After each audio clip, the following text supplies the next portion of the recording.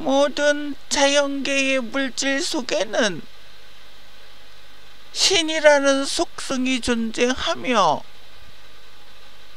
그 신의 본질은 끊임없이 진화하는 각각의 개별성을 가진 성질로서 꽃, 별, 벌레, 짐승 이 모든 것들 안에서 성숙되어지는 형제는 것입니다요. 성경에서 말하는 사단은 우리 마음 속에 있는 악을 말하는 것이지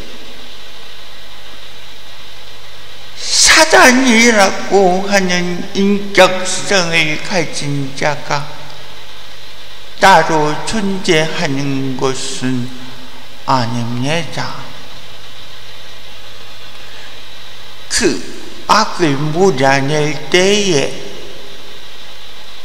우리는 참된 선인 하나님을 찾게 되는 것입니다.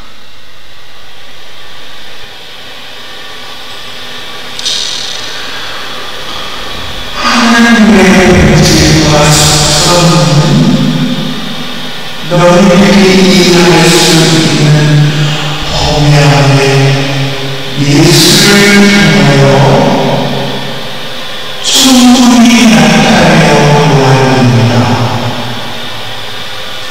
그 이상의 하나님은 우주를 간직할 수 없으시 이해할 수 없는 영역이니라. 그것을 말하는 것은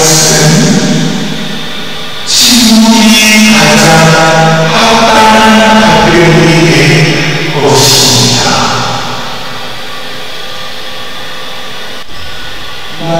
속에 내가 있다는 것은 내가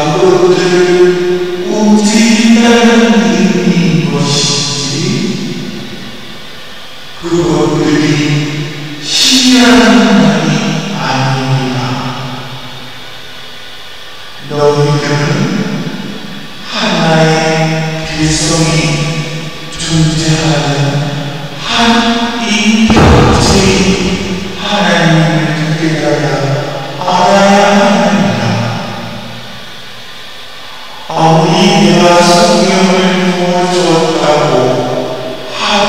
하